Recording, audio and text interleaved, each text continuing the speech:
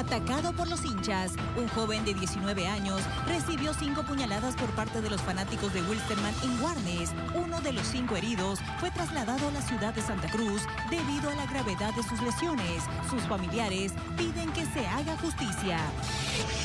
Carrera clandestina. La CRE pide a la policía de tránsito investigar y dar con el conductor que colisionó contra un poste de electricidad, mientras que el concejal Rommel Porcel indica que el próximo lunes propondrá la elaboración de una ley que sancione este tipo de competencias. Cívico suspendería medidas. El presidente del comité cívico informó que este martes nuevamente se reúne el directorio y es esta instancia que decidirá si se mantiene o suspenden las medidas en defensa de Incahuasi.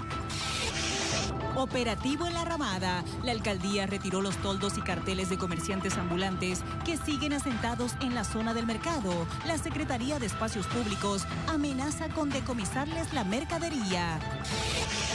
Menor en poder de drogas fue sorprendido tratando de introducir 10 tabletas de clonazepam dentro de una mandarina al pabellón de mujeres de la cárcel de Palmasola. La FELCN investiga el caso no jugará el Mundial. El capitán y goleador de la selección peruana, Paolo Guerrero, no participará de Rusia. El Tribunal de Arbitraje Deportivo le amplió a 14 meses la sanción por doping.